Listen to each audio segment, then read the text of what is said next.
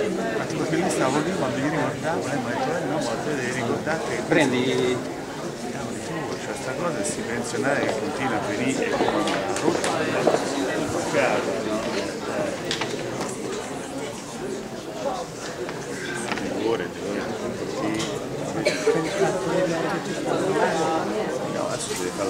Allora, benvenuti a tutti i ragazzi, eh, benvenuti ai docenti, eh, benvenuti anche agli adulti che sono qui presenti con noi. Io sono Carlo Cardarelli, Presidente dell'Associazione Consumatori Accumulati. Che cos'è un'associazione di consumatori? È una di quelle associazioni che aiutano le persone a districarsi nel mondo delle bollette, dell'acqua, del gas, della luce, ma non solo. Noi come associazione ACU abbiamo capito che se non c'è trasparenza e non c'è lotta alla corruzione, in questo paese ogni politica è inutile. Quindi eh, abbiamo cercato di dare un impulso più a queste, queste politiche di trasparenza, di legalità e le persone più adatte per ascoltare siete voi.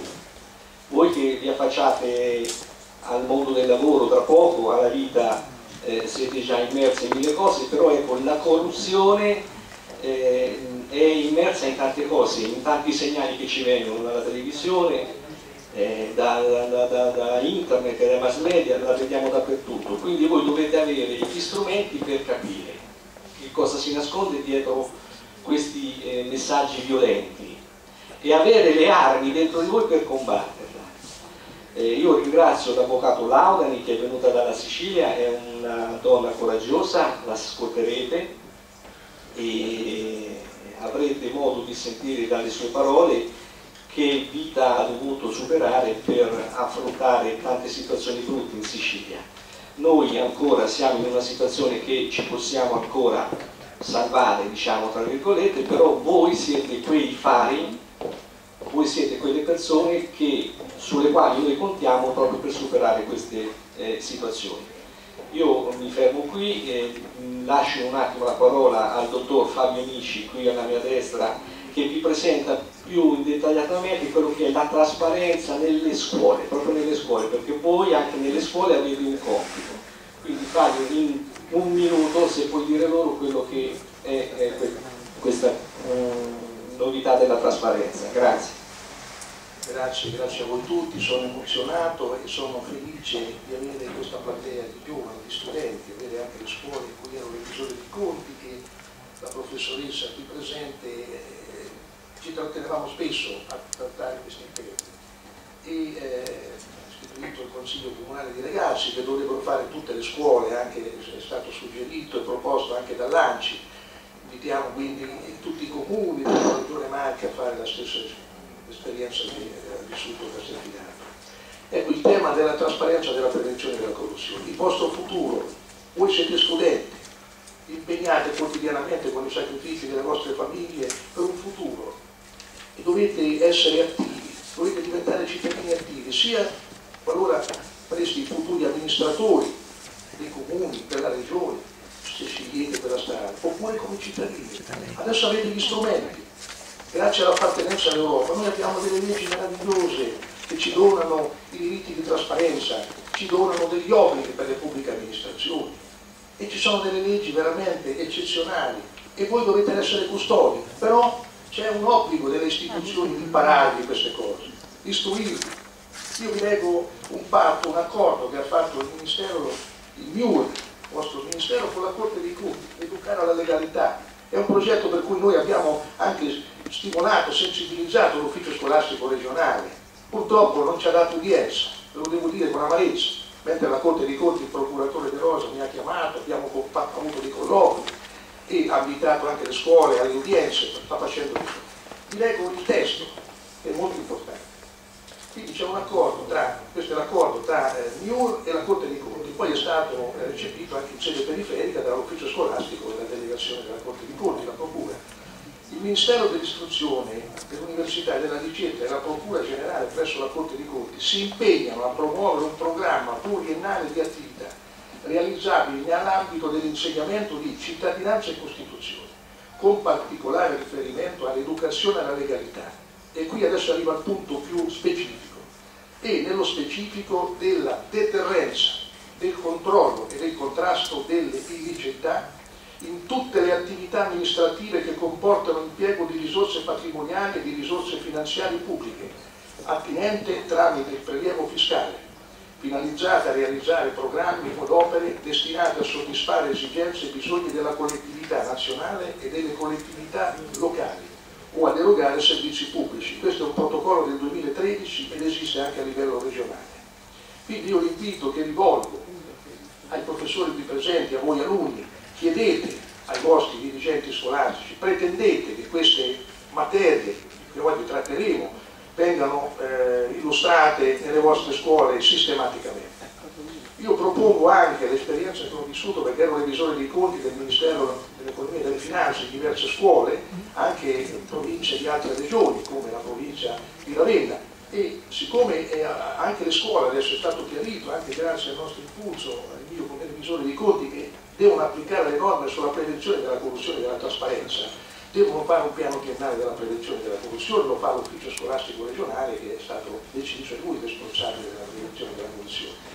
Agli obblighi di trasparenza, io quindi quello che consiglio, siccome doveste essere tenute anche eh, come istituzioni scolastiche a organizzare le giornate della trasparenza, che sono proprio degli eventi formativi di sensibilizzazione, io invito le scuole a fare come ha fatto la scuola di Lugo, eh, di fare le giornate della trasparenza perché è quello il laboratorio attivo di cittadinanza in cui gli studenti possono essere coinvolti.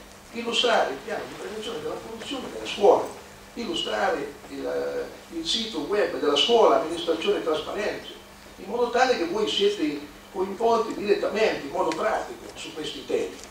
E questo a mio avviso mi auguro che venga fatto. Così ecco, c'è un coinvolgimento reale, immediato, poi noi siamo disponibili a venire se ci chiamano dirigenti scolastici a collaborare per tutto quello che riguarda questi temi. Io vi ringrazio, purtroppo poco tempo, poi c'è un altro aspetto molto, molto importante che ecco, nelle scuole anche abbiamo fatto uno studio sulle carte dei servizi perché il tema che affronterò voi purtroppo non fa parte di questa seconda eh, diciamo, parte della, della, giornata. Le carte dei servizi, ci sono delle direttive che anche nella scuola esistono dal 1995, io vi darò gli estremi eh, nella occasione quando poi magari li pubblicheremo sul sito, e anche le scuole devono fare le carte dei servizi.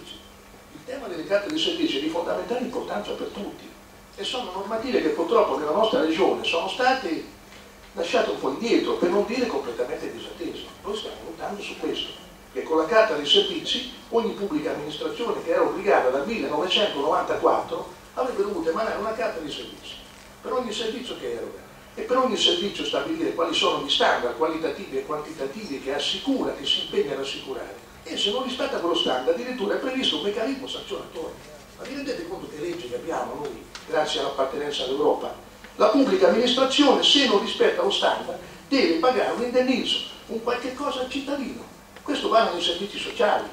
La Carta dei servizi sociali è purtroppo una legge che esiste dal 2000 e purtroppo andiamo a vedere sui siti di molti enti locali non esiste. Quindi dobbiamo essere cittadini attivi in questo senso, conoscere queste leggi e pretenderne l'osservanza. Grazie. Grazie a tutti.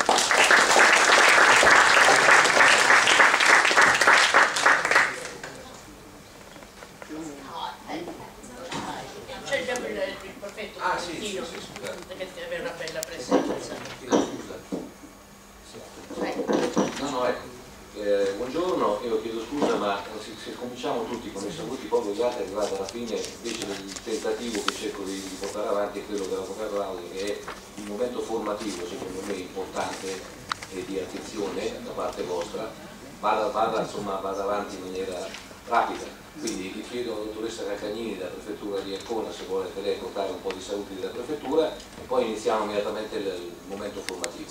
Grazie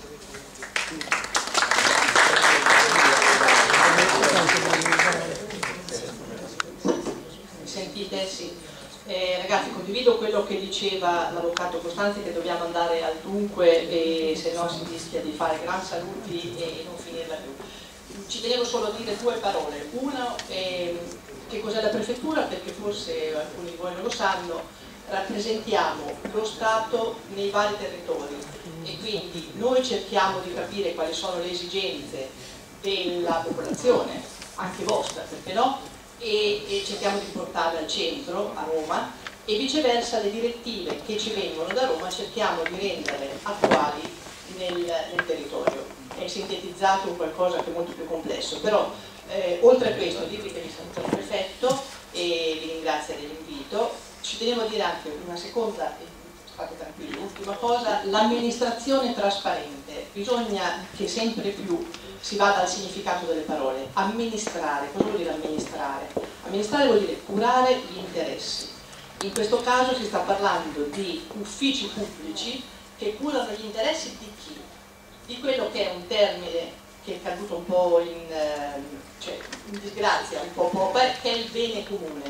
Quindi bene comune significa che io non curo, io che sono a capo di un ufficio, non curo gli interessi miei, ecco perché la trasparenza, ma curo gli interessi del bene comune, del bene che è di tutti noi quindi bellissimo che voi siate soggetti attivi, ho conosciuto il sindaco di Castelfidardo, il mini sindaco, mini per niente, perché è anche un ragazzo che sa che cosa vuole. E prima gli ho chiesto ti ricordi di me? E mi ha detto sì come per dire mica sono imbambita come quella della tua età quindi siate veramente soggetti attivi e non lasciate che qualcuno decida per voi. E quindi grazie a chi ha organizzato questa manifestazione e scusateci se noi adulti a volte non siamo così chiari a trasparenza, però pretendete voi che noi lo siamo. Buon lavoro e buona giornata.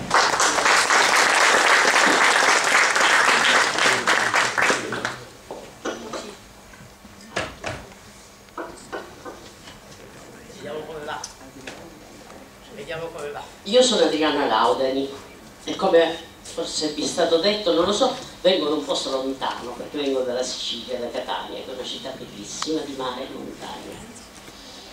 Però faccio l'avvocato, lo faccio da tanto tempo, quindi sono una vecchia giurista, no? mi occupo di legge e di leggi da tanto tempo. Ho insegnato per tanto tempo anche all'università, diciamo, considero la mia funzione di vita essenziale, perché col tempo cambia, no?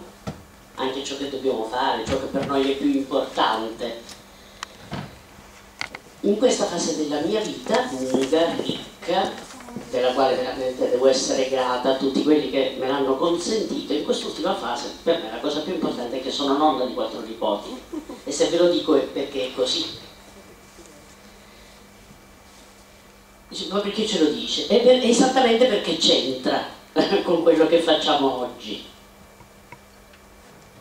Io considero la relazione, il rapporto reale con persone come voi, che stanno dentro una strada, no? che è una strada di crescita, che è una strada eh, di apprendimento, che è una strada fatta di tante piccole scelte. Voi siete persone, donne e uomini, che in questa fase della vita, ogni momento, costruite la vostra vita scegliendo cosa fare, come fare, come organizzare il tempo, quale amico scegliere più di altri, quale adulto, insegnante o non, speriamo anche nonno, tenere un po' come modello, no? In grado di trasferirci valori, modi di essere. Quindi voi siete persone che scegliete continuamente, costruite la vostra personalità, la vostra identità, il vostro presente e sicuramente anche il vostro futuro, no? Perché il presente è già futuro. Proprio scegliendo. Ora, credete, ad una della mia età, no? che ha consumato tante bellissime, importanti, anche a volte faticose esperienze, trovarsi con gente come voi è un privilegio di lusso, cioè è di lusso. Di lusso. È di lusso per due motivi. È di lusso perché attraverso voi io provo a capire cosa accade oggi nel mondo. È come se voi costituiste in qualche modo, io lo, lo vivo molto per i miei nipoti, dico che i miei nipoti, e in particolare uno dei miei nipoti, che è un ragazzino di 13 anni che ha dei problemi, tutti abbiamo dei problemi, lui ha i suoi, perché un ragazzino diciamo, che ha disturbi dello spettro autistico, un ragazzino stupendo, bellissimo intanto e poi stupendo di tutto. Lui mi ha regalato un terzo occhio, un occhio che io non avevo mai avuto per vedere la realtà. Io a lui sono profondamente grata perché senza di lui, senza l'affetto che ci lega, che è bestiale, fortissimo, tante cose io non le capite mai le, già le capisco poco, ma proprio non le capivo proprio. Quindi per me è un privilegio, proprio di lusso eh, passare una giornata con persone come voi. Ieri ho vissuto un'esperienza simile con i vostri colleghi eh, di Pesaro, devo dire, è stato bello. È stato bello perché ci siamo voluti bene, questa è una cosa chiara ci guardavamo negli occhi e via via si costruiva un legame buono tra di noi e gli occhi, no? Reciprocamente i nostri occhi parlavano. C'è un detto siciliano, ve lo posso dire questa cosa, che dice la parlatura degli occhi, per dire che c'è un linguaggio che passa attraverso lo sguardo, la parlatura degli occhi. Io trovo questa frase stupenda, la parlatura degli occhi. Ecco, noi ieri abbiamo esercitato mm, con i vostri eh, colleghi di Pesaro intensamente la parlatura degli occhi, abbiamo molto comunicato con gli occhi, poi abbiamo anche comunicato con le parole, perché loro alla grande, con la stessa semplicità e tranquillità con la quale io parlo a voi, loro hanno parlato anche a me onore. Bene, quindi io sono contenta, sono contenta davvero, la considero un'opportunità che merita tutto il mio impegno. Lo dico per coloro che sono seduti in questa parte, ma che sicuramente si sono accorti, in questa parte della, della sala, che in quest'altra parte, nelle prime file, abbiamo un gruppo di ragazzi che oltre ad essere studenti come voi sono anche direttamente impegnati, diciamo così, in un'esperienza civica, no? politica, tra virgolette, amministrativa, tra virgolette, nel senso che sono il sindaco e il consiglio eh, comunale di quella comunità scolastica. Anche questa è una risorsa che proveremo no, ad evocare. Noi abbiamo bisogno, che ci serve, se c'è, cosa facciamo? Facciamo finta che non ci sia, la sprechiamo. Non la possiamo sprecare. Non si può sprecare nulla.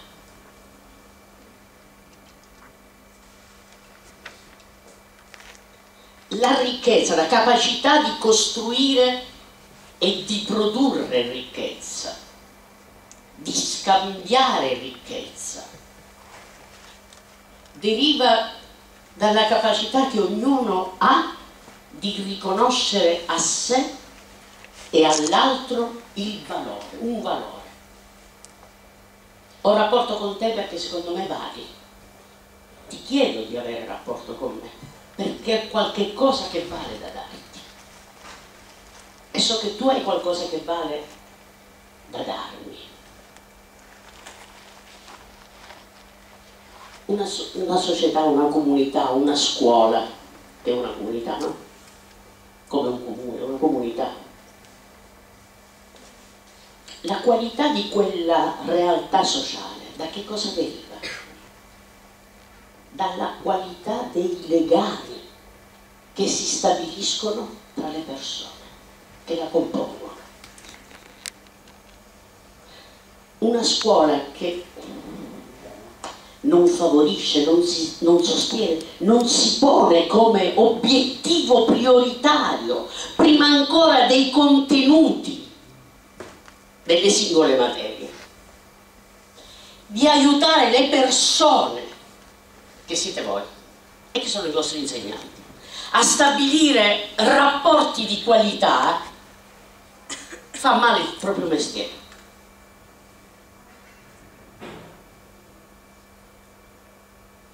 Una, una, scuola è una bella scuola, è una buona scuola, perché è una scuola nella quale i ragazzi man mano che si iscrivono, eh, che passano da là, che, eh, che, vivono la loro esperienza, sono aiutati a stabilire tra di loro quali no, rapporti interpersonali, ma anche di gruppo, di buona qualità.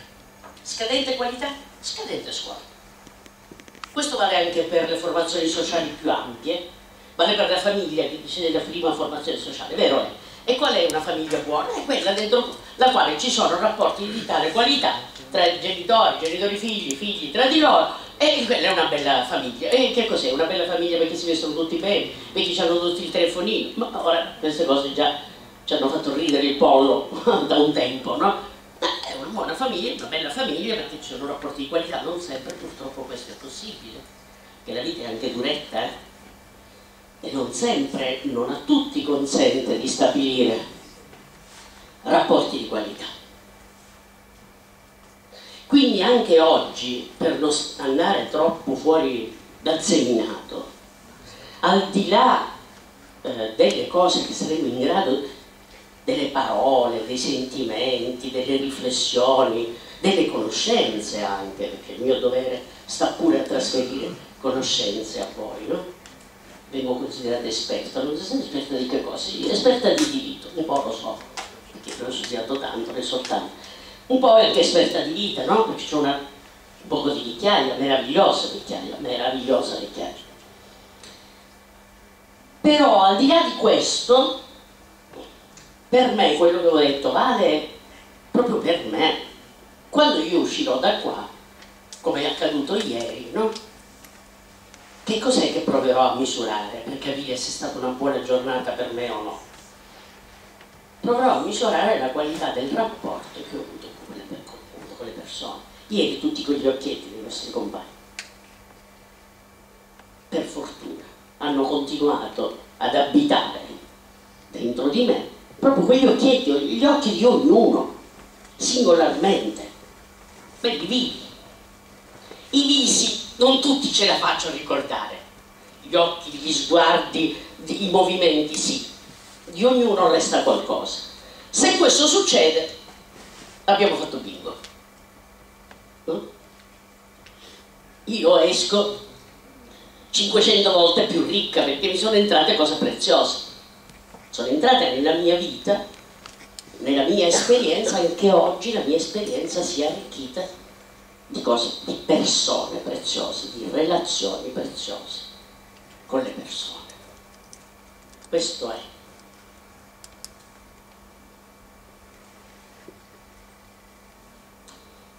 La trasparenza è un valore, prima che essere un obbligo per la pubblica amministrazione, è un valore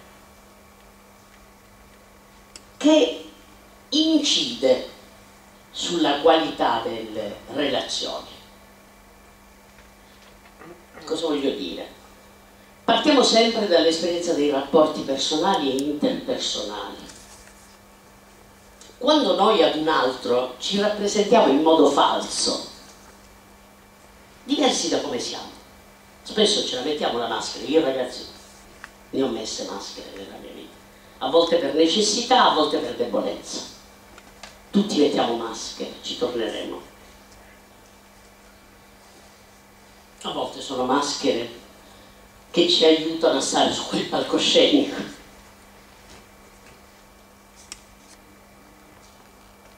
Ti metti la toga, a me capita di mettere toga, è capitato tanto tempo, c'è una toga piccola piccola naturalmente. Metti la toga, difendi una vittima di mafia,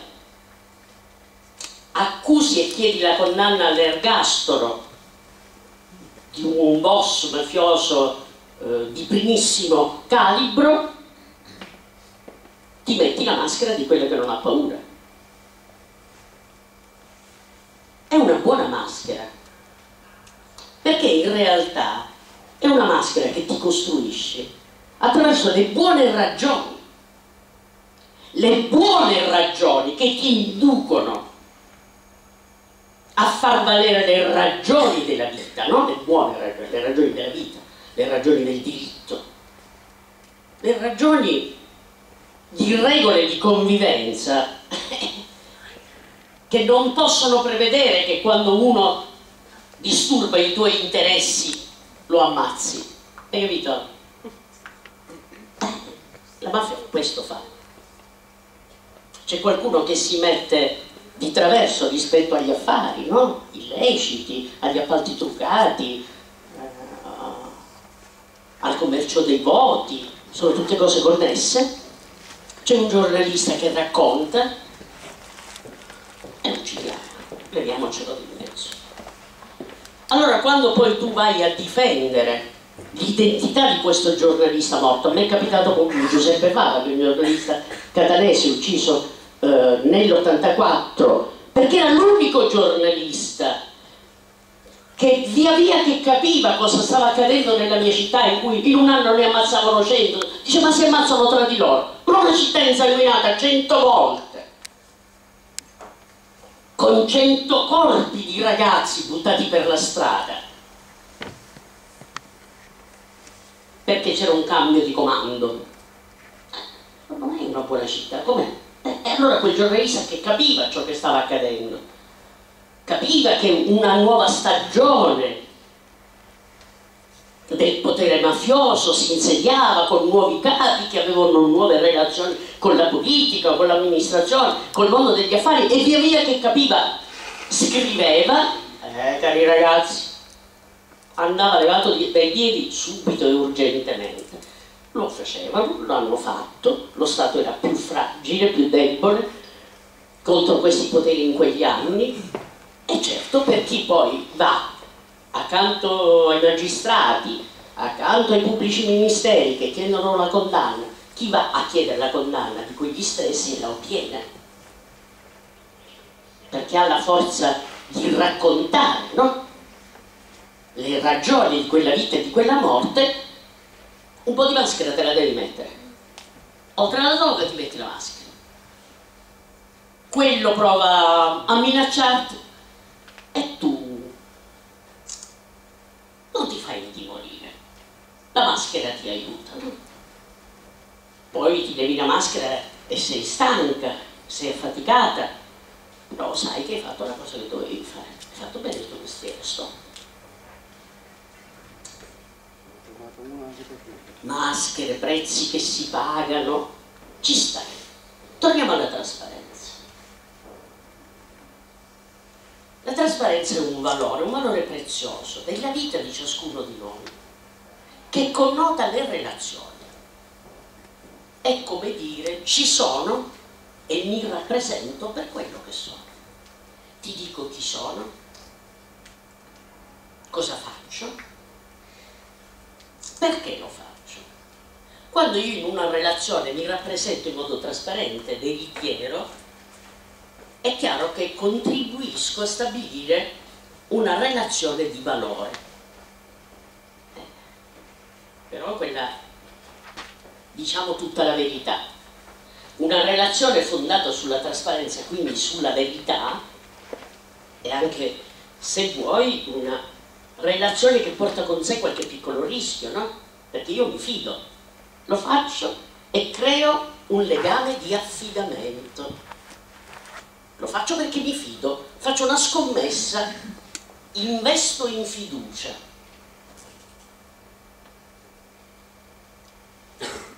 Io sono vera con le mie amiche, con i miei amici, affido loro parti di me, anche delicate, perché gliele racconto, perché confido che non le useranno male e contro di me. Ma un po' di rischio c'è sempre.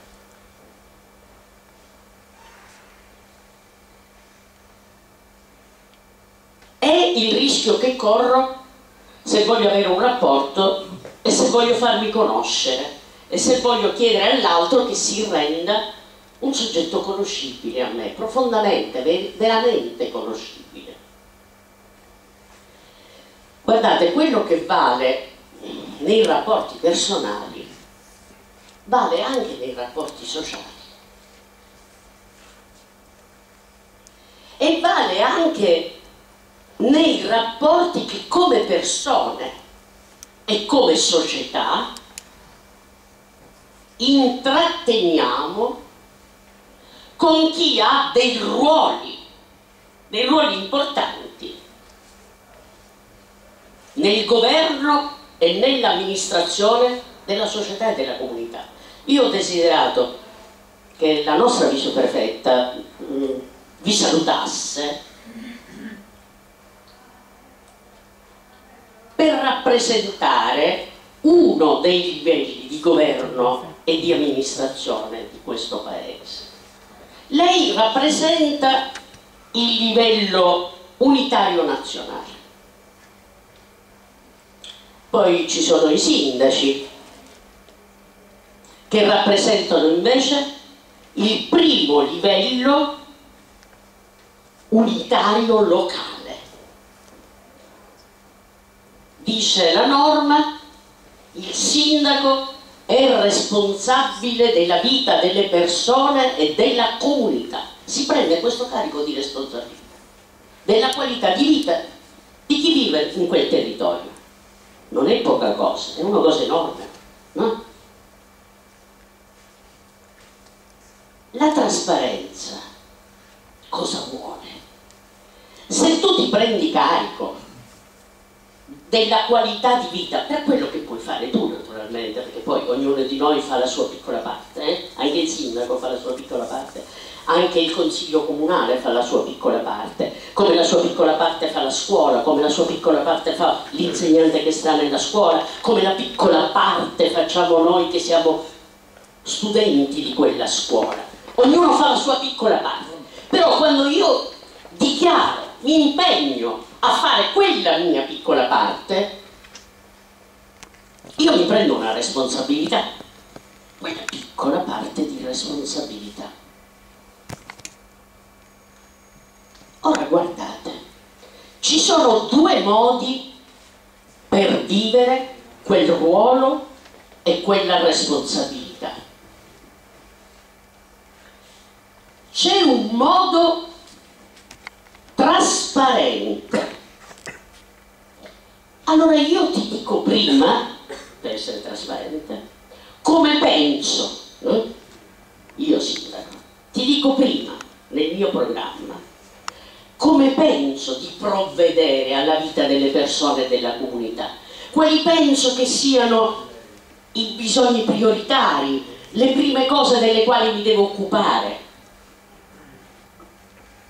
Mi impegno con il mio programma e mi sottopongo, più sono chiaro e preciso negli impegni che prendo, più poi i cittadini potranno valutare se ho mantenuto quegli impegni. Ma la trasparenza non può venire solo e stare solo e abitare solo all'inizio quando mi eleggono e alla fine quando ho, ho chiuso il mandato un modo di, trasparente di esercitare il mandato vorrebbe, non è facile, ma di questo stiamo parlando, che nel corso dell'esercizio dell'attività di sindaco io dica con chiarezza, con tutti i modi possibili, social, non social, eh, con la carta, con, col televisore, come volete voi, con la radio, non mi interessa. Dica, sentite, guardate, io avevo pensato, per esempio per la mia terra, ciò che io auspicherei, che la battaglia per la legalità contro questo tipo di illegalità. Dovesse conseguire questi risultati, dico una sciocchezza, ridurre l'abusivismo edilizio, ridurre l'abusivismo commerciale, Non ce la sto facendo, perché non ce la sto facendo? L'abusivismo edilizio vi ho promesso che avrei fatto le demolizioni in area protetta, vi sto parlando di cose di Catania concretissime. Noi abbiamo dentro Catania un'area protetta che è l'oasi del Simeto, un fiume stupendo dove hanno costruito non un abusivismo di necessità, eh, orrende case, seconde case di finte le, le villeggiature senza fogli, una porcheria, una porcheria che ha distrutto una parte di Arenile che è la fine del mondo per bellezza con la conseguenza che io non posso portare i miei nipoti a fare il bagno là perché l'acqua è sporca e perché la spazzatura è da tutte le parti. Allora un sindaco che non riesce a portare avanti prima la demolizione, poi l'isolamento di quelle zone e credetemi non ci riesce non solo perché è pavido ma perché ci vogliono un sacco di soldi, perché ci vogliono un sacco di cose però la trasparenza cosa vuole? che ritorni nel corso continuamente e dica guardate ne abbiamo demolita una ne abbiamo demolite tre le altre non ce ne facciamo a demolirle per questo motivo speriamo di farcelo tra un altro poco insomma tenga conto di ciò che si è impegnato a fare e renda conto a me ciò che no? tenga conto e renda conto ricordatevi la trasparenza vuole tengo conto prima tengo conto dei bisogni dei miei cittadini e poi rendo conto ai cittadini di quanto sono stati in grado di rispondere ai loro bisogni ai loro diritti. Capite che questo legame di traspa questa trasparenza, la trasparenza, se c'è, consente un autentico legame e rapporto. Quando non c'è, tu sei da una parte e io sono da un'altra parte ti sento tremendamente lontano, no? Te sindaco, ti sento, te istituzione comunale, tremendamente distante da me, anzi che te ne freghi proprio. E quando si consuma questa distanza, quando eh, si consuma questo disamore, questa sfiducia, nella comunità che cosa si produce?